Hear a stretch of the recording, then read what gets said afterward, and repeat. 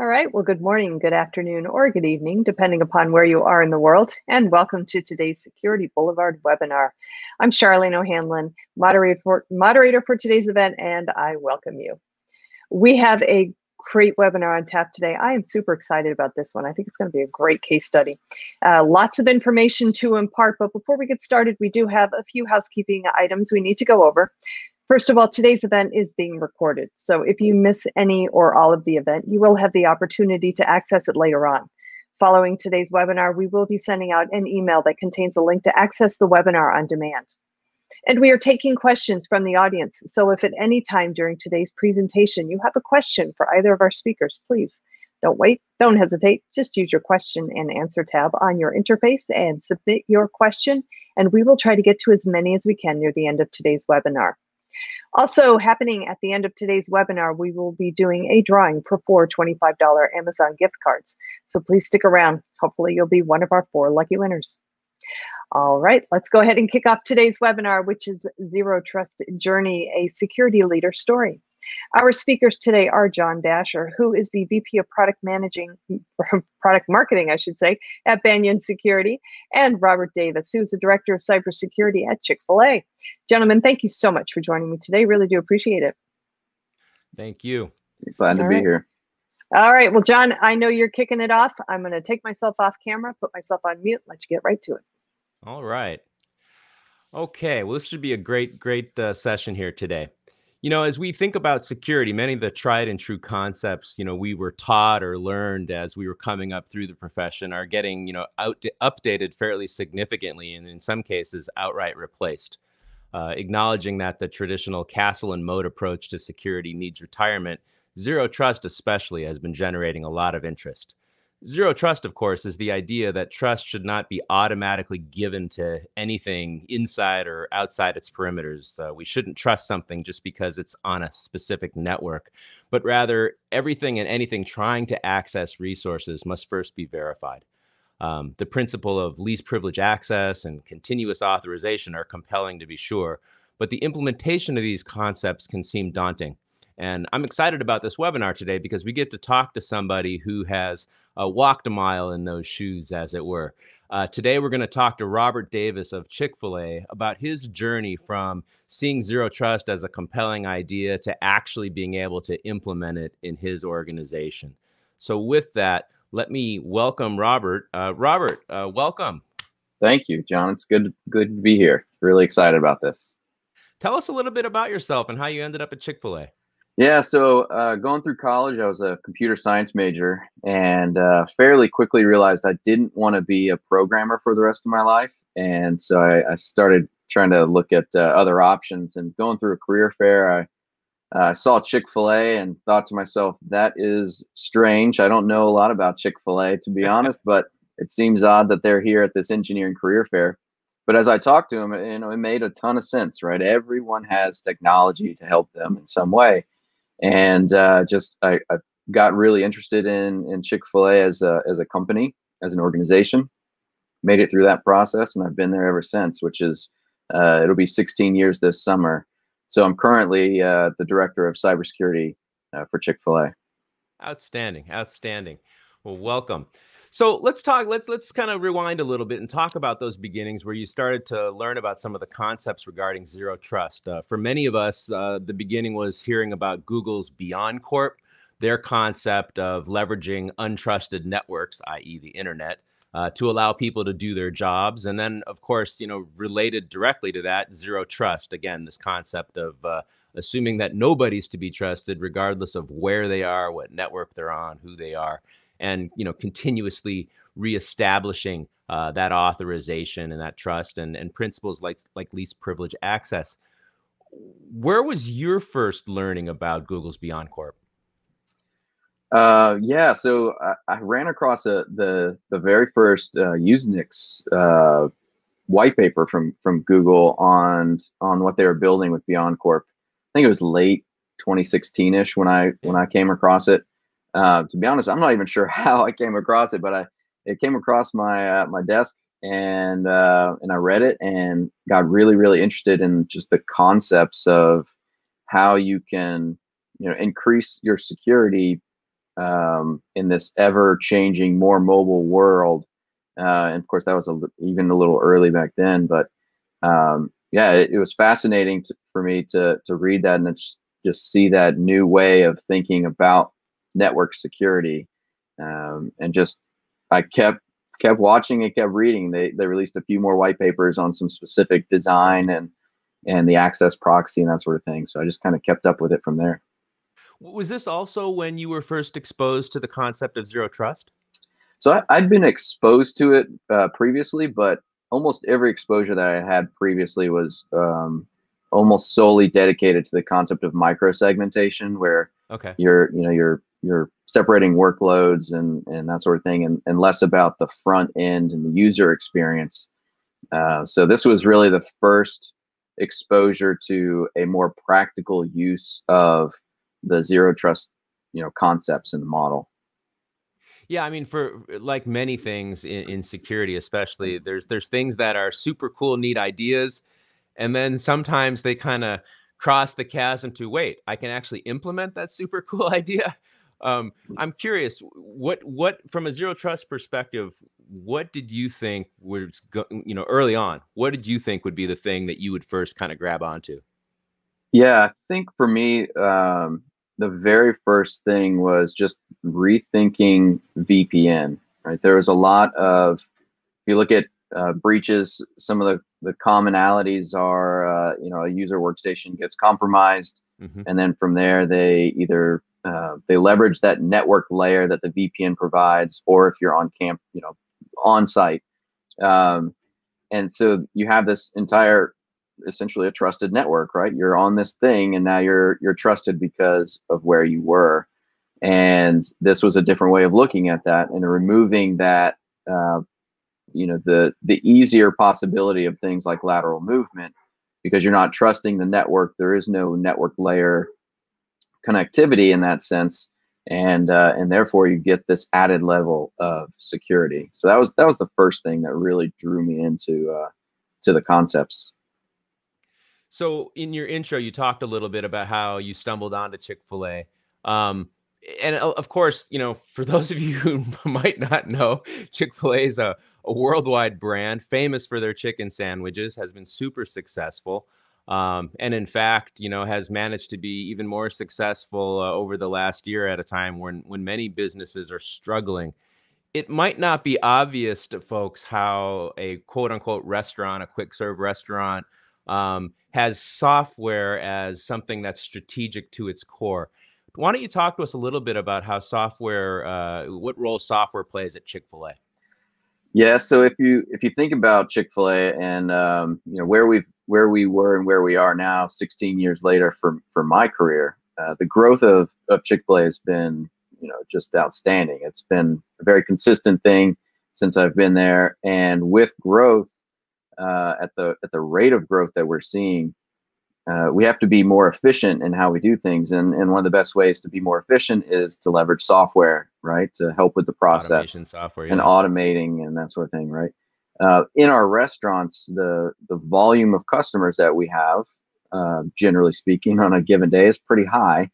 And um, our footprint, uh, restaurant footprint, sometimes isn't isn't quite there to handle that volume.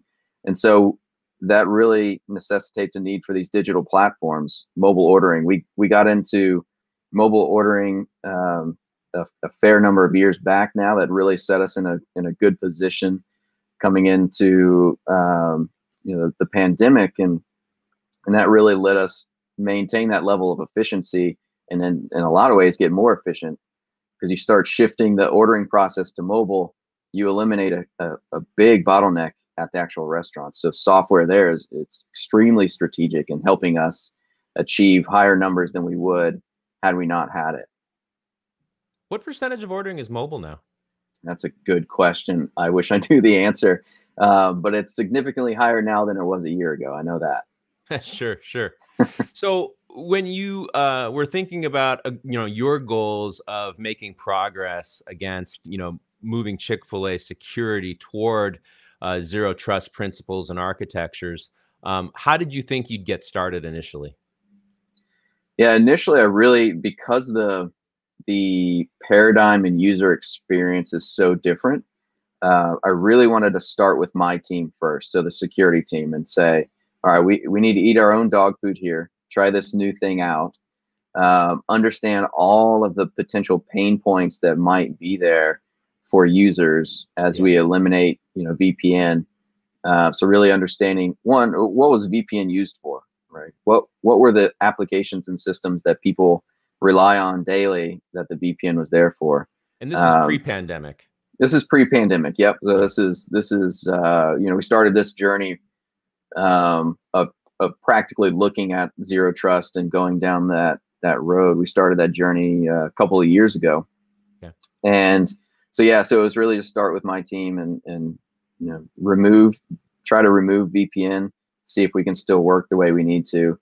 Um, yeah, and then just kind of from there you would move into choosing a a couple of smaller, less critical apps to test with to start expanding beyond my team and maybe looking at uh, getting some of the IT department to, to leverage it. Uh, and then eventually looking at business users and getting them involved to get to get that feedback going before you really uh, implement this holistically across every application. And then for us, the last step will be basically implementing this everywhere and having blocking uh, blocking access to sensitive or critical apps uh, if they don't meet the trust tiers that sure. we're looking for. Yeah. Let's co- let's come back to that in just a minute. Why don't we uh, why don't we uh, do a poll question and get a feel for uh, the audience in terms of uh, where they are in their zero trust journey? Yeah, so we do have a polling question that is now open to the audience. The question is How many folks have started implementing a zero trust project? Uh, we haven't started. We're researching solutions. We've begun implementation or, or we've deployed and are using a zero trust solution. So the polling question is right there underneath the polling tab. Uh, you should see it uh, there. You can go ahead and make your response. I'm going to leave the poll open for you guys for a few minutes. Uh, John, you can go ahead and continue with your presentation, and we'll uh, we'll circle back and take a look at the poll results later on. Sounds great. Thank you.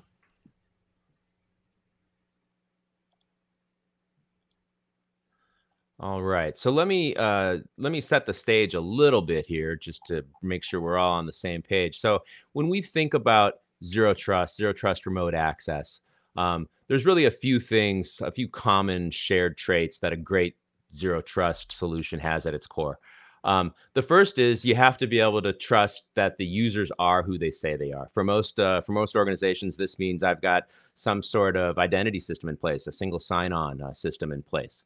The second thing you need, of course, is device trust. You've really got to be able to trust uh, that the device they're using is in fact trustworthy, uh, whether that's a corporate issued and managed device or an unmanaged device that maybe your contractors are bringing to the party or you know BYOD as Robert mentioned especially as you know the world went mobile uh, the plethora of the devices is, is certainly out there and so having some level of confidence that uh, the devices that are connecting to your uh, precious resources are trusted is important. The third thing you want to do is be able to take advantage of the tools that you already have. You know, you've got security tools, you've got infrastructure monitoring tools, um, and they throw off signals that are that are helpful in determining whether we can trust the user and their devices. So, to the extent um, there's signals there that we can take advantage of, we, we should absolutely do that. Uh, with regard to distributed enforcement, um, we want to make sure that the enforcement of access policy happens as close to the application or resource as possible. Um, unlike a traditional VPN, which you know acts as a centralized choke point, we want enforcement to be in the logical traffic path because it's best for performance, scalability, efficiency. Um, and then the last building block is this idea of uh, continuous authorization. Um, you know, simplistically, um, you know, bad things happen, and sometimes they even happen, you know, during a connection session um, you know, a, a, device and a user that were trusted and known good a minute ago could suddenly have an issue. We want to be continuously reevaluating uh, the user and the trustworthiness, the security posture, if you will, of that combo um, in uh, against the backdrop of the sensitivity of the resource they're accessing. Uh, as one of my colleagues likes to say, if someone's trying to access the cafeteria menu, you know that's probably low security and i don't care too much about you know who's accessing it and under what circumstances but when my backend finances are getting accessed i care deeply both about who's accessing them and about you know how much how broad is that access and so things like least privilege access come to play. So anyway th- those five things you know put together uh, really yield a lot of benefit in terms of both security and manageability, um, giving your users a consistent experience. And of course, you know, over time, like anything where you're able to automate and improve the administrative capabilities as well as the user experience, you know, you lower risk and you lower your costs.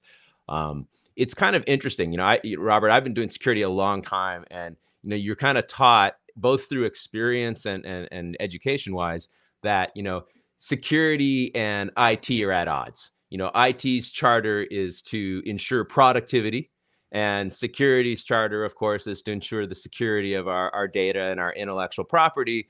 And by making something more secure, by definition, it's now less usable. Productivity goes down, security goes up, or I throw open the doors and make it easy for everyone to do their jobs, but I've got to throw security out the window. You know, it's a seesaw. One goes up, one goes down.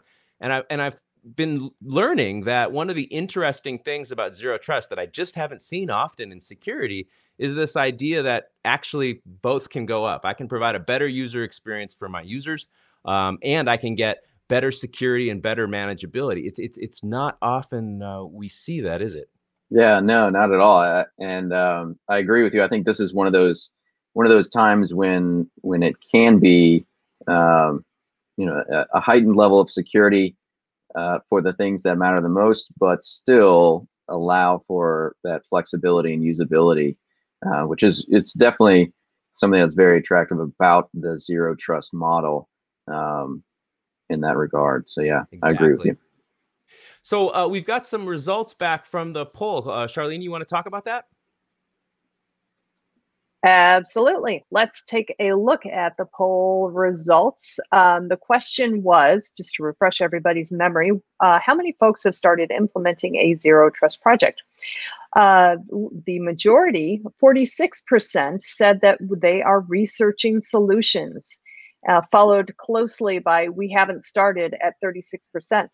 Uh, and then uh, we've begun implementation, garnered 10% of the responses, and we've deployed and are using a zero trust solution.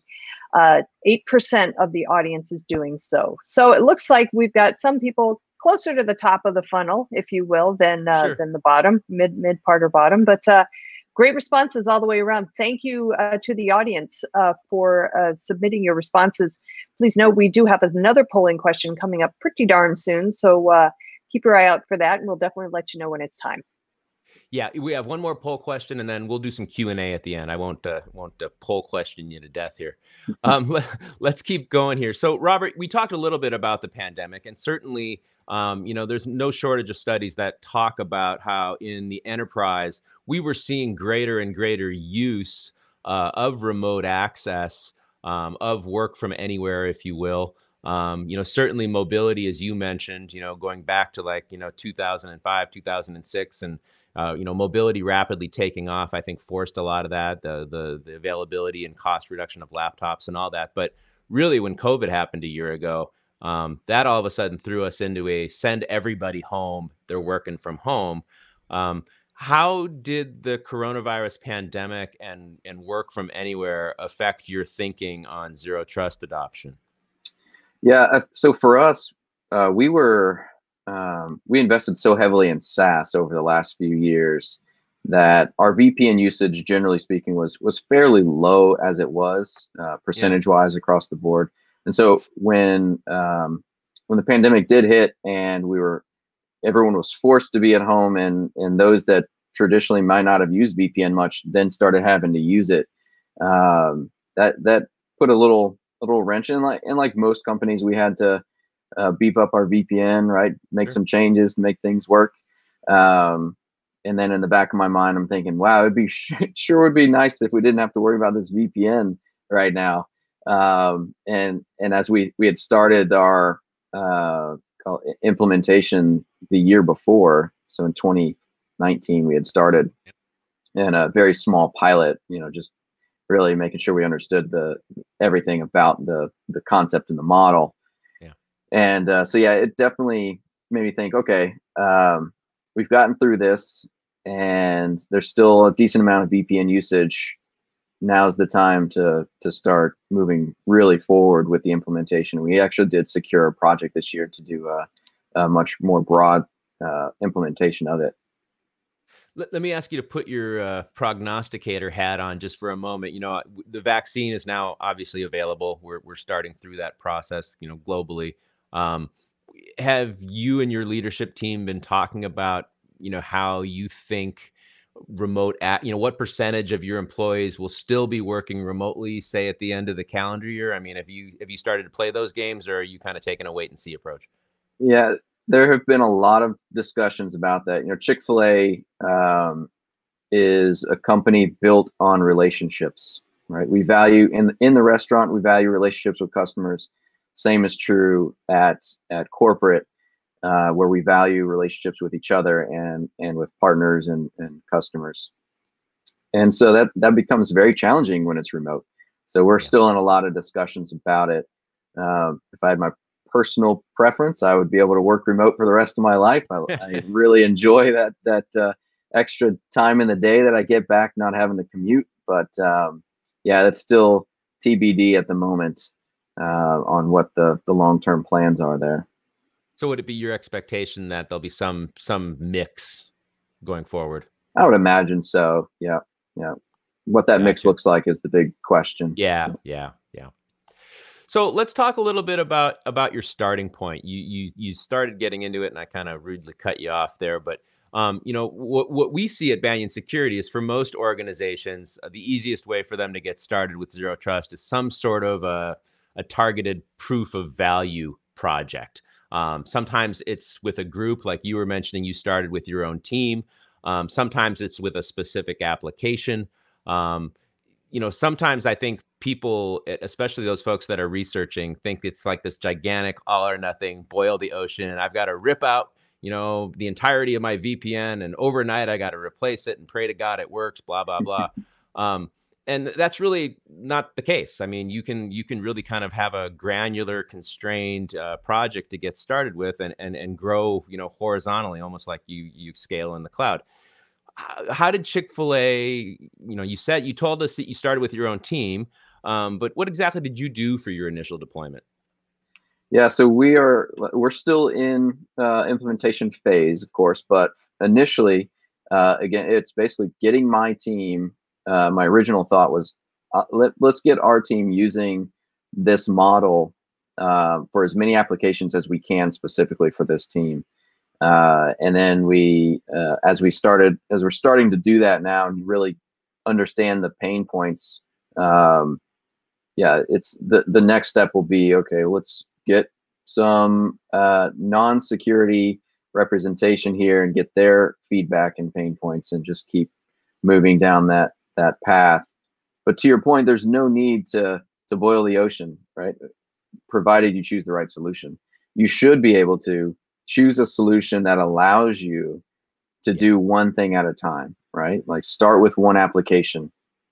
Um, and in best case, you could even start with a non-enforcing mode where you're it's there and it's usable, but it's not going to stop somebody while you understand the pain points, right? So that's um, that's what I would recommend is, is just making sure whatever solution you go with allows you that flexibility because that's going to be key to, to successful implementation because it's a it's a decent change for user experience in mostly a good way, but it's still a change. Um, and people are usually uh, not super excited about change. So So was that one of your bigger challenges, or what? Were, I should say, what was your biggest challenge in in starting your rollout? Yeah, to be uh, completely honest, I think the biggest challenge was not accepting this model and, and knowing the user experience is going to change and there's things in, that nature. The biggest challenge, quite frankly, is just getting resources dedicated to doing this work, right? Um, Chick fil A's uh, growth, again, has been phenomenal, which is wonderful in a lot of ways, but it's hard to keep pace with the growth. And so new projects and new ways of doing things um, become challenging because we're still, you know, we oftentimes have to play catch up in the security world. Um, yep. If, if you want to be innovative as a company, security mean you know you have to find the right balance, of course, but um, security is not gonna not gonna be out in front of everything, right? So uh, that was that's still our biggest issue today. Um, but we're we're like I said, we're slowly but surely tackling this problem, right? One thing at a time, and uh, and we'll get there. And hopefully by the end of the year, we'll we'll be there uh, with full implementation out there. Excellent, excellent.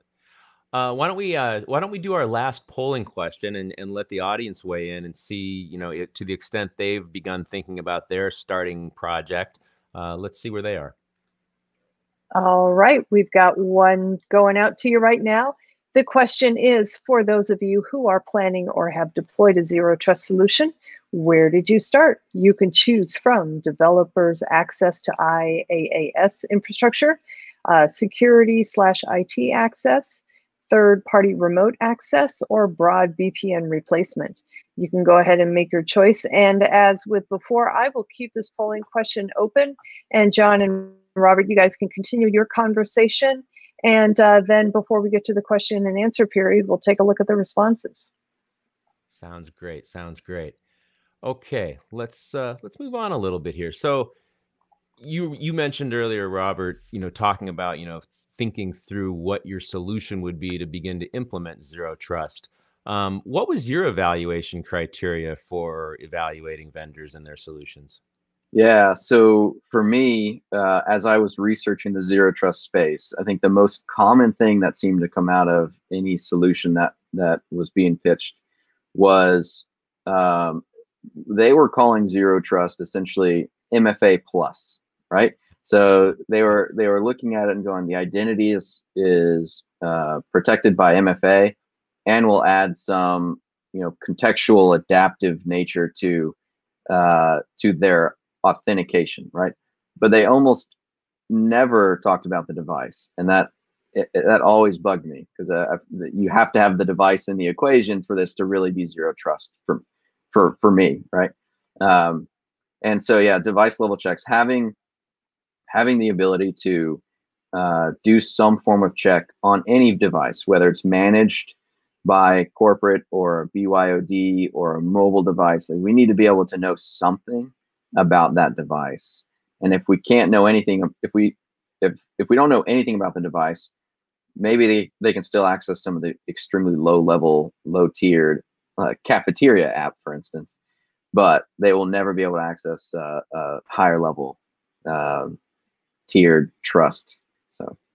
Well, and we've certainly seen in recent uh, in recent security and news stories, uh, you know, MFA, you know, yeah, you should you should probably be using MFA, but it is by no means a guarantee that uh, uh, you are now a hack proof or uh, you're done with security because it can be bypassed. And there's been no shortage of recent demonstrations of bypassing MFA. So I can see why device level checks would be uh, would be an interesting thing to look at. Uh, yeah. What what what what came next for you? You had mentioned uh, the flexibility of a solution. Yeah, so uh, I was kind of uh, talking about this a little bit with the implementation question, but uh, being it has to be something that's flexible for uh, for our use cases. So it needs to be able to work for on-premise uh, applications. So basically, replacing VPN in a lot of ways. It needs to work in the cloud. Uh, it needs to work with our SaaS solutions. It needs to work with our identity provider. I, I, I don't want a new identity provider, so it must integrate with that today. Um, oh, there you go. Yeah, thir- the third criteria. Um, but yeah, being being extremely flexible in how we can implement it, starting with one thing and then eventually adding additionals, um, or starting in a non-enforcing mode across the board. You know, just to gather the data. Those things are are critically important for success. Yeah, and then continuous authorization. I think that that was actually as I was uh, doing some tests and uh, understanding solutions and trying to figure out the best one for us. The continuous authorization was at the bottom of my criteria list, and it still is because if you don't have those first three, then the bottom one doesn't really matter much. Um, but it is when you see it in action. I did some proof of concepts where I, I uh, infected my machine and then that infection then triggered a, a deny through through the solution and i was I was wowed by it because you, you don't get that in any traditional network security model. But because of the this the way the solution is architected and that ability to check every, in this case, HTTP type request to a web app, and check for that authorization, is this is this identity and device? That was the key, right? And device, not just the identity. Right. They're both still good, so you can access it. But the moment one of those goes um, and in a lower trusted tier, you can block that access. And I, I that was uh, that was almost like I was running around going, guys, you you have to check this out. Watch this. Watch this. uh, and uh, I didn't think I would get so excited about that, but um, it's a pretty powerful uh, mechanism. Who'd have thought failure to authorize would be exciting? I know. I know. So as as you look through your list of, of criteria, were those the right? I mean, now that you've had time to kind of you know embark on your journey and get you know a fair pace down the road, were those the right criteria for you? Yeah, definitely for us. Uh, um, uh, the the only criteria in that first four, uh, that again that you know you you might be able to push aside to the next phase of whatever you want to implement uh, is the continuous authorization. It's really really cool, but at the same time, if you don't get those first three right, it really doesn't matter that much. So for me, yes, being able to check the device, know something about it, being very flexible, and integrating with existing identity stack and other tools that we have. Those those are still my top three criteria. Yeah. One of the things that we will hear from from prospects and customers that didn't necessarily click earlier in their process, but later you can watch the light bulbs go off is going back to that device level checking and the idea that that one thing spans all of your infrastructure types, all of your device types. And so as you were pointing out, you know, whether that app is on prem or in the cloud or as a SaaS app, it's the same device trust and you can manage it as device trust regardless of the app or where it is or who's using it or from what device and i think sometimes people just don't understand don't quite get the value of it they, they nod their head and they hear the words but once you start doing it you're like oh i finally have a uniform way of checking device posture and i don't have to be caring about you know the specific situation yeah exactly yeah would you, uh, looking back on it, would you add any criteria? Stuff you wish you would have looked at that maybe you didn't? That's a good question. Um, I would probably get a little more um, in depth with the the identity stack. So there's there's one thing to integrate with with an identity stack and you know understand OAuth or SAML and do that, but it's another thing entirely to to be able to do that and understand the the stack from top to bottom and know how flexible the rollout can be right there are things that you can do with certain identity stacks that uh, go beyond just creating an OAuth client for every single app and making it a little more um, generic so I can implement uh, zero trust with really any app I want without having to touch the app itself because that was really the key, right? So in in an identity world with OAuth, you're generally if you're going to make changes to that in any way, that means you're impacting the app side. So the deployment team has to go make a change to how their OAuth configuration is set up such that you're now in the middle with this new zero trust model. But um, yeah, just understanding that a little bit more, I think is is probably the only thing. Getting getting closer to your identity stack and understanding all of the the uh, switches that you can turn on and off to make things easier. In your organization, do you do, are you, do you have as security? Do you have responsibility for identity, or is that on the IT side of the house? Yeah, so we actually security is within IT, so we're we're it, okay. all under the same umbrella. But identity um, is not under the security umbrella. It's still it's under our um, uh, yeah more shared service, shared platform yeah. team.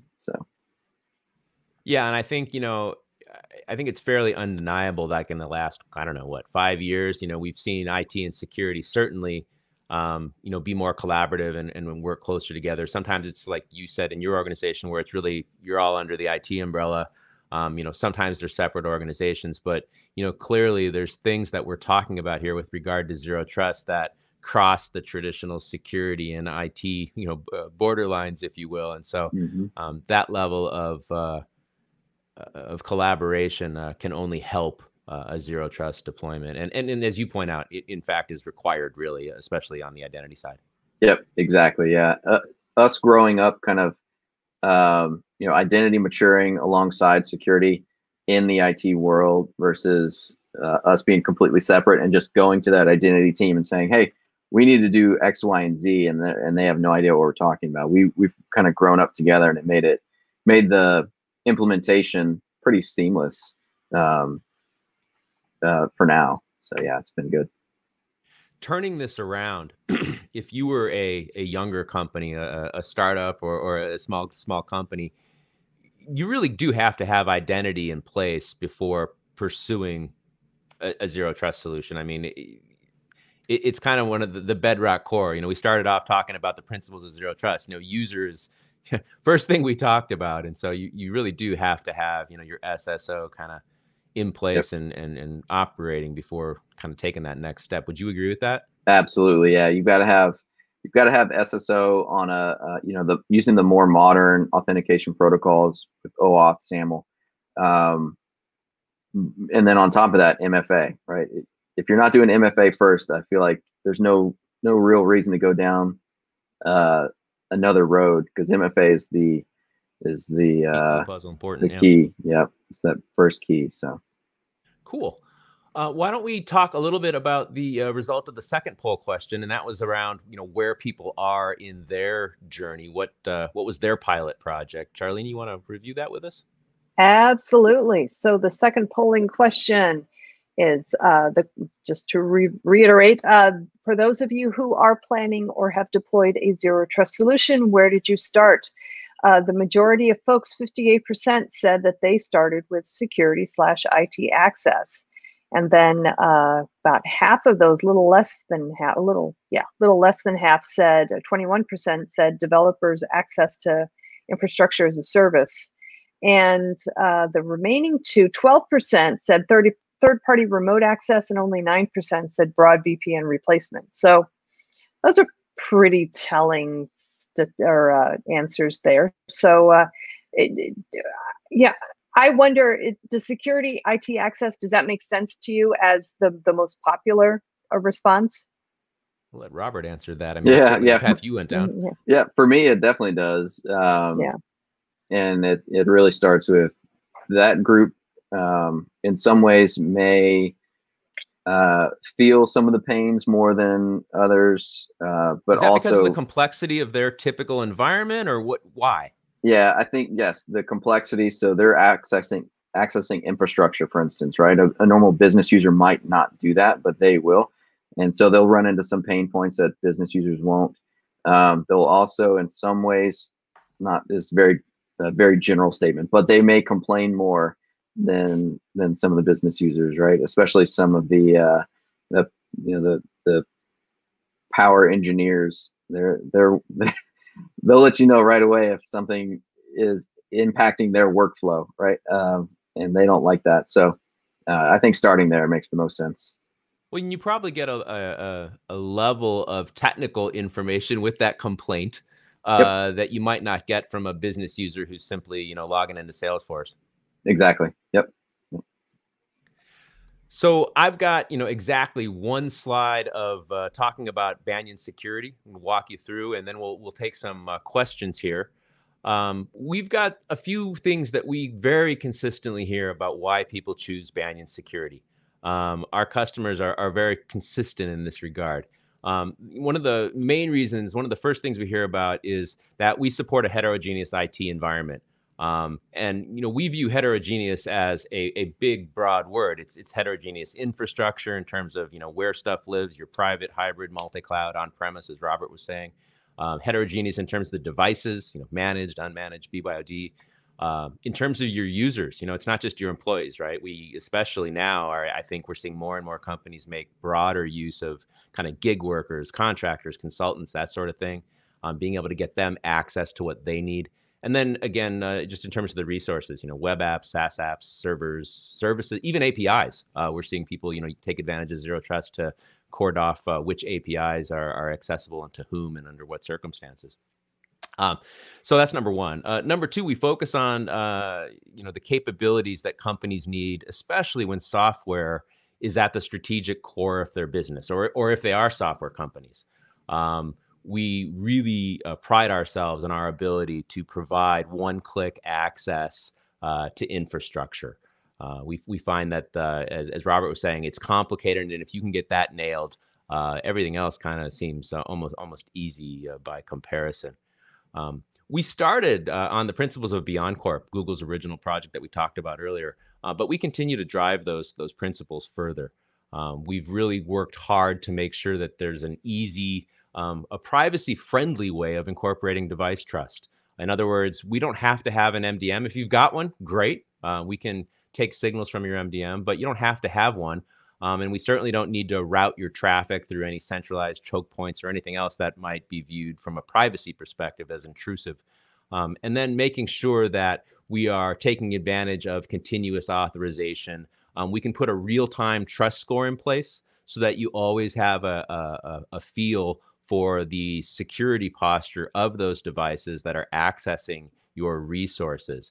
And so uh, the key point there, right? Being able to have a device uh, a policy that leverages device trust. We, every security product's got policies, no doubt about it. But being able to incorporate device trust in those policies and then do so uh, real time is is a is a neat way to be able to handle some of this stuff. So those are kind of some of the core things that you know Banyan Security you know feels like are, are key to our DNA, who we are, and what we're offering. Um, we certainly uh, love to talk to you uh, about that uh, at your leisure. You can go to our website, www.banyansecurity.io. We'd love to have a deeper conversation with you all. But before we get to that, uh, I promised uh, we'd reserve time for Q&A. We've got a great resource in Robert. Um, so why don't we open up for, for some questions? Yeah, great. We've gotten some questions in, but there's plenty of time for questions, guys. If you do have one, go ahead and use that question and answer tab and submit it. You can also put it in the chat and we'll uh, just move it over for you. No big deal at all. Uh, we first question is from Mike who asks, so is zero trust a misnomer? You say you need both trusted users and trusted devices. Isn't the assumption of at least advanced per persistent attacks that either users or devices on your net are compromised? I think that is a terrific question. I think zero trust is a buzzword that is unfortunately required to make it to make it known this is a new way of thinking or doing things right uh, but for me it's zero trust network meaning i don't care where the device is they can be at home they can be on my network they can be um, you know somewhere else starbucks um, starbucks yeah but I, I i don't trust the device uh, I'm sorry, I don't trust the network they're coming from no matter what. I have to build some level of trust in some way, and that's where users and devices come from. The assumption that um, you know A- APTs are uh, inf- infecting a user and or device. Yes, absolutely, that's true. So zero trust does not end with uh, having a user and device level check. You still absolutely need to be doing the security monitoring, the security detections looking at EDR, like adding those to your security program are still important, but you're going to do that whether you have zero trust or not. Zero trust now gives you some flexibility to to uh, do things differently. Uh, and then on top of that, if a user's device does get compromised, but there's no VPN connectivity back to the corporate because you're leveraging a zero trust network model, uh, lateral movement which is critical to these types of attacks, is much, much more difficult. It's not impossible, of course, but it's so much more difficult uh, when you don't have that network layer there. So yeah, the, both the least privilege access and and the prevention of lateral movement, uh, key, absolutely yep. key. Yep. And and as right. we've seen with other uh, threat vectors, ransomware and other things, you know, really take you know almost require that lateral movement to uh, you know uh, affect. So being able to shut that down is super important. Yep. Excellent, excellent. Okay, next question here uh, from Sanjeev. Uh, he asks, uh, how does zero trust access prevent supply chain attacks? Ooh, that, that is a good question. Um,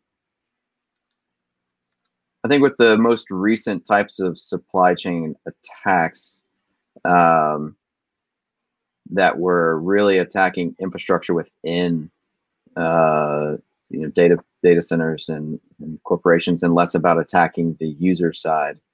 Um, that's going to be a very tricky one. But if you leverage zero trust between servers in the in the back end, there could be some benefit there potentially. Again, the lateral movement play, right? Uh, but you can also achieve that, and you should be with network segmentation doing that properly.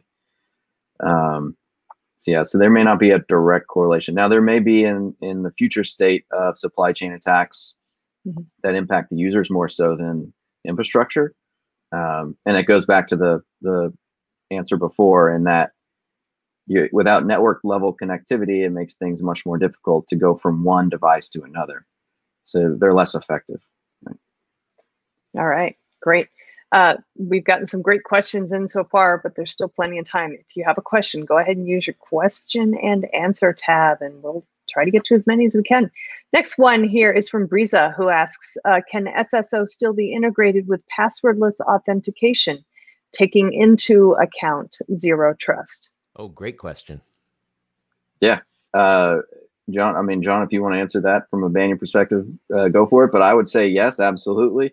Uh, but it will be somewhat dependent on your identity stack as well. But yeah, yeah, absolutely. Um, it's one of my it's one of my favorites because it, it I, I, still get a giggle out of you know not you know I have a password manager yes on on my devices, but you know being able to uh, allow employees to have uh, a passwordless path to the resources they need is really nice. I mean, it, let's face it, we've got no shortage of passwords on this planet, um, and being able to be secure and do so without having to manage passwords um, is really, really nice. It's nice to not have to file IT tickets to do password recovery. It's nice on all sides of that equation. All right. Great. We actually uh, just got a little chat in. I thought I might share. It says uh, it's from Alexander. He says zero trust is not only about users, but about suppliers as well. So trust no one, check always. That goes back to that supply chain question. I'd love that comment. What do you guys think? It, it, yeah. It, yeah. and and I'd add on that. Not only check always, but it's not just the initial check, right? The the the real kind of groundbreaking idea here is continuously check even after you've checked and and verified and validated things change. Uh, we live mm-hmm. in a mm-hmm. dynamic world, and and you know just because you put somebody on the approved vendor list doesn't necessarily mean that the device they're using at this moment in time is is good. Um, and so, yeah, absolutely. Yep. All right. Excellent. Okay, moving along. Uh, next question here. Uh, it's another one from Mike. Says, uh, did we used to call zero trust least privilege? And in mm-hmm. that zero trust, we always limit what any user or device can do on the network. Yeah, I feel like zero trust is a is an evolution of least privilege. So in some ways, yeah. yes, right? Like it's it's just the least privilege was always about the user, and this is taking mm-hmm. it a neck another level and looking at device. And so so yes, um, it's an evolution of that the other thing that I would add to that is um, it's not just limiting what a user or device can do on the network, because again, the network is no longer our, our focus. It's about what the user or device, what resource they can access. Yeah.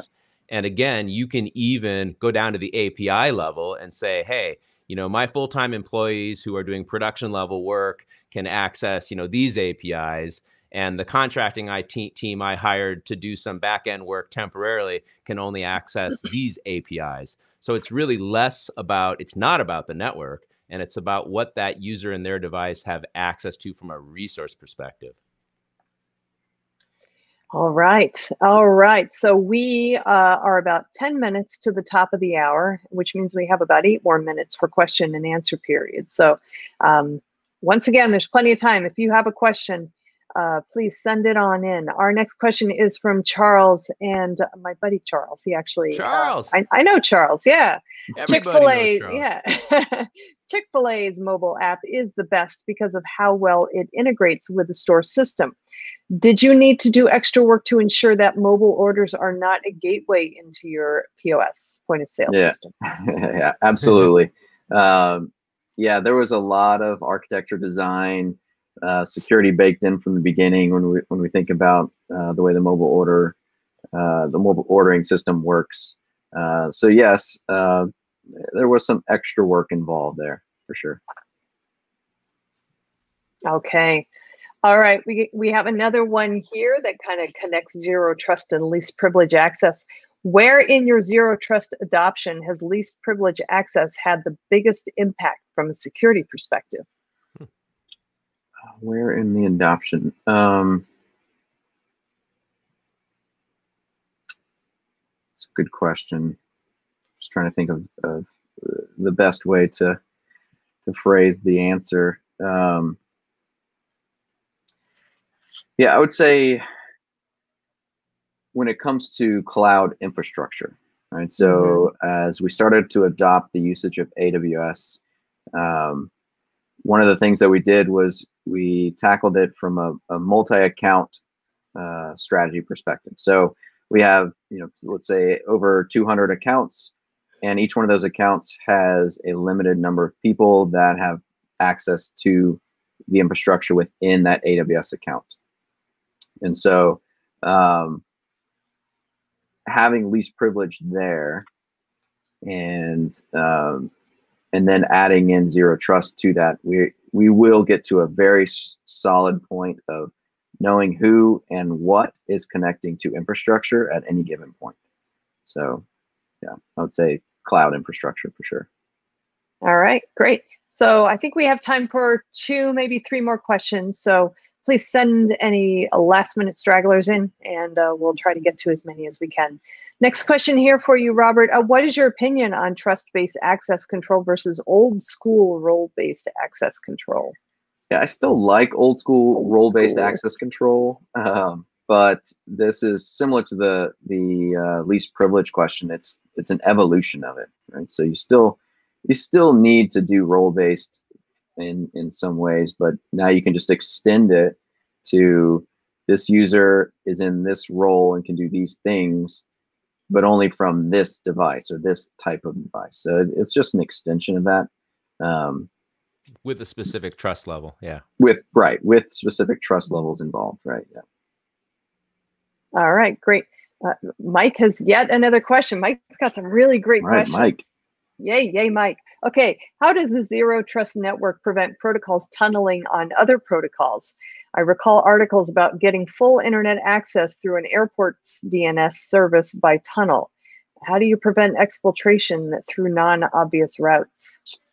uh, so exfiltration is a very different problem um, i would say uh, zero trust network for me is is all about inbound access and who who can access to john's point what resource uh, and what trust level is required to get there exfiltration is handled from a very different perspective um, and so I, I wouldn't necessarily tie those two together.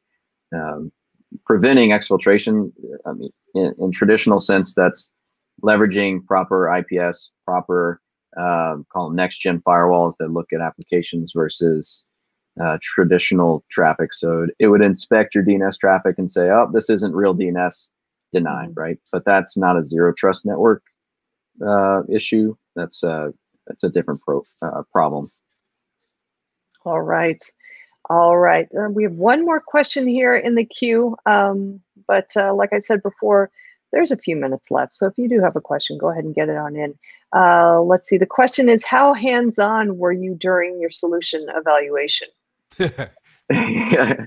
I have loved this space ever since I read that first BeyondCorp paper. That I basically have, uh, I have been fully hands-on and and sending uh, numerous complaints and or issues and or um, you know Hopefully, compliments. things I too. like compliments. Yeah, compliments too for Okay. sure. Um, I, you know, I was get talking better. That's right. That's right. I'm helping helping people get better. Um, yeah, I was talking about the continuous authorization. Um, that was me playing with that capability and trying to really understand it and getting as hands on as I possibly could. So yeah, extremely hands on. Excellent. All right. All right. Well, we are about five minutes to the top of the hour. That is all the questions that we have currently in our tab. I will go ahead and leave the question and answer tab open to see if we get any last minute stragglers in. And uh, while we are waiting, I do want to quickly remind the audience that today's event is being recorded. And uh, so if you miss any, if you've missed any or all of the webinar, or if you just want to watch it again, you will have the opportunity to do so. Following today's webinar, we will be sending out an email that contains a link to access the webinar on demand. And the webinar is also going to be living on the Security Boulevard website, so you can go find it there. You can just go to securityboulevard.com slash webinars, look in the on-demand section, and it should be right there waiting for you.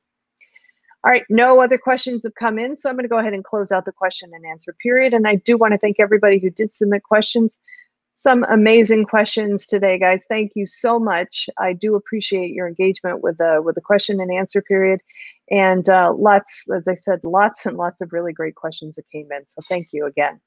Um, all right, so I think the last thing I have to do today now is to do the drawing for the $425 Amazon gift cards. Let's go ahead and do that. I know it's what everybody's waiting for. All right, our first winner today is uh, Dan B. Congratulations, Dan. Second winner is Brian O. Congratulations, Brian. Our third winner today is Rachel B. Congratulations, Rachel. And our fourth and final winner today is Brent B. Congratulations, Brent. We'll be following up with all four of you via email to get your Amazon gift card over to you. So please check your inbox. And if you don't see anything there, please check your spam folder. Uh, John and Robert, great presentation. Lots and lots of interesting stuff. I really enjoyed the, your conversation. Uh, and, you know, judging from the, the comments and the questions that came in from the audience, I can tell they got a lot out of it too. So thank you very, very much. Really do appreciate it. And thank you, Robert. Thank you, Charlene. Thanks for everyone at uh, Media Ops for putting this together. But Robert, thank you so much for your time. I know you're a super busy guy, and I really do appreciate you uh, walking us through uh, some of your journey so that we can all benefit from that. Yeah, I had a great time. So thanks. And if, if anybody ever wants to talk zero trust or security or just general stuff, uh, feel free to reach out to me on LinkedIn. Um, love to love to make a connection. All right. All right. And I as well want to thank the audience for joining us today. This this is Charlene O'Hanlon, and I'm now signing off. Have a great day, everybody, and please stay safe. Thank you.